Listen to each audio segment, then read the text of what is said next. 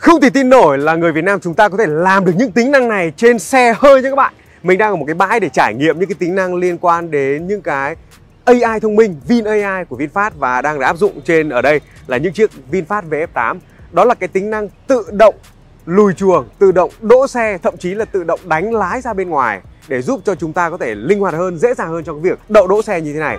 Đây không phải là một tính năng mới.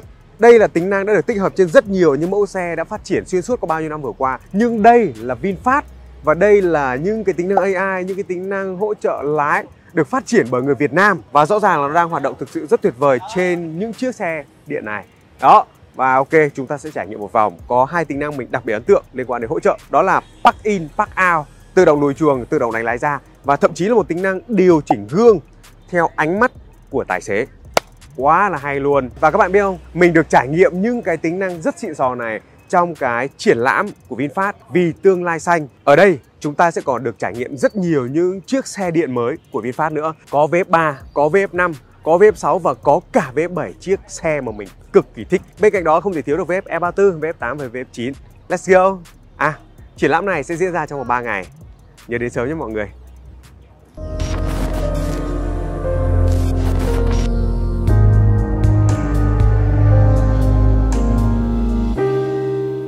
Rồi bây giờ chúng ta sẽ trải nghiệm tính năng đấy là lùi chuồng tự động trên uh, VinFast VF8 đó và anh có thể chia sẻ với em một chút xíu đây. Cái này là mình uh, tự đi lên này trước và chọn về chế độ P Auto này đúng không anh? Khi mà hệ thống mình đã khởi động hoàn toàn và sẵn sàng cho việc lùi chuồng nó sẽ Vâng. có một cái nút trên đây. Đó, nút P Auto đấy. P Auto đấy mọi người. Nhìn đó. Mình có thể tự chọn. Đó. Nó sẽ hai option là bắt in và bắt out Dạ vâng. đổ và tự đánh xe ra còn nếu mà lúc mà mình muốn đánh xe vào ấy thì mình có thể chuyển số và đi thôi mình cũng không cần phải chọn tại vì nó sẽ tự hiểu là Tự hiểu luôn. tìm. sau đó là nó sẽ phát hiện được ra những cái ô đậu đấy mọi người đi thêm một chút xíu nữa đó. rồi đó thì ở đây chúng ta sẽ có cái ô màu xanh này sẽ là ô đậu và chúng ta có thể zoom in zoom out được ra để mà chúng ta có thể nhìn được nhiều những cái ô đậu xung quanh khác nữa có một cái hay á, đó là mỗi bên trái phải chúng ta có thể phát hiện tối đa là 3 vị trí parking Đúng. tức là tổng có thể chọn được 6 vị trí đỗ Vâng. đó sau đó bây giờ thì chúng ta chỉ đơn giản nữa là chọn cái này. Và bấm vào bắt đầu tự đỗ xe tự động. Và ok còn lại là xe còn lại xe tự xử lý hết. Từ cái việc mà xoay vô lăng chỉnh ga các thứ. Đó và mọi người nhìn cái camera 360 ở đây này. Đó. Ờ, cái cảm giác lúc đầu khi mà chúng ta trải nghiệm thử thì sẽ thấy nó hơi bị sợ một tí tại vì uh, khi mà kiểu ngồi trên xe mà không phải là mình cầm vào vô lăng ấy, mình chỉnh ga ấy, mình sẽ có cảm giác là xe nó lùi hơi nhanh và có cảm giác nó hơi ghê. Uh, nói chính xác ra thì đây không phải là một tính năng gì đó nó quá mới trên những chiếc ô tô. Tuy nhiên thì đây là một chiếc ô tô của người Việt của anh em Việt Nam chúng ta. Đó, và chúng ta cũng đã có những tính năng cực kỳ xịn sò như thế này để hỗ trợ cho cái việc uh, đậu chuồng đỗ xe lùi chuồng một cách rất là dễ dàng như thế này. Đó tất cả đều được phát triển bởi người Việt Nam cả. Rất là ok đó. Đã xong và mọi người nhìn thấy cái ô thông qua camera 360 này. Cực kỳ chuẩn luôn. Đó. Rồi bây giờ thì uh, uh, nếu mà đánh xe ra chúng ta sẽ chỉ cần bấm vào đây. Sau đó mọi người có thể chọn cái tự đánh xe ra. Thì tự đánh xe ra chúng ta sẽ có những cái mức như là vuông góc hay chéo hay song song. Để chỉnh song song ra thì mình chọn cái hướng bên trái bên phải. Và bắt đầu. Thì một lần nữa là xe lại được đi ra ngoài. Và chúng ta không cần phải làm gì cả. Đó trong cái thời gian mà anh ờ, trải nghiệm cái xe này thì anh ờ, đánh giá là có pha nào mà nó không thành công chưa? Ừ, chắc chắn là có. Dạ, có đúng chắc chắn là có. Nói Ừ. thật sự là phải có mình không thể nào mà cover hết tất cả những trường hợp được. Ừ. và có những cái tình huống nó sẽ ờ, cảm thấy risk. Nhưng nhưng mà cái ưu tiên cái cái ưu tiên cao nhất là an toàn và nó sẽ tránh mọi va chạm có thể. Ừ. thế nên là những cái tình huống nào mà nó cảm thấy không an toàn lắm thì nó sẽ ờ, không thành công nó sẽ dừng lại và nó báo cho lý do cho người dùng là tại sao nó không tiếp tục được.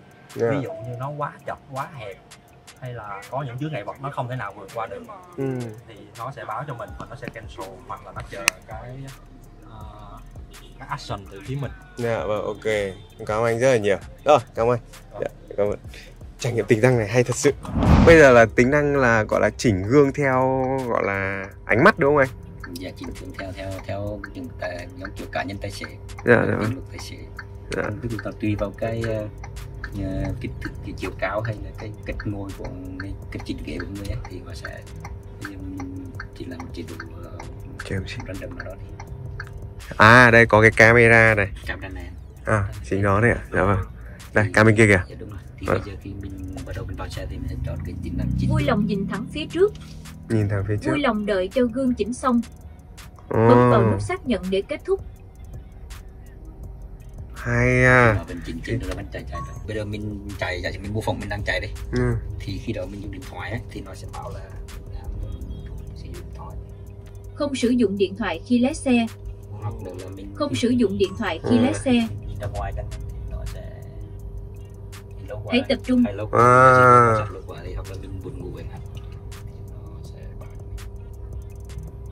Bạn đang mệt hãy dừng nghỉ. Mình ngáp đi chẳng hạn thì nó cũng sẽ bảo là mình đang buồn ngủ. À, hay quá.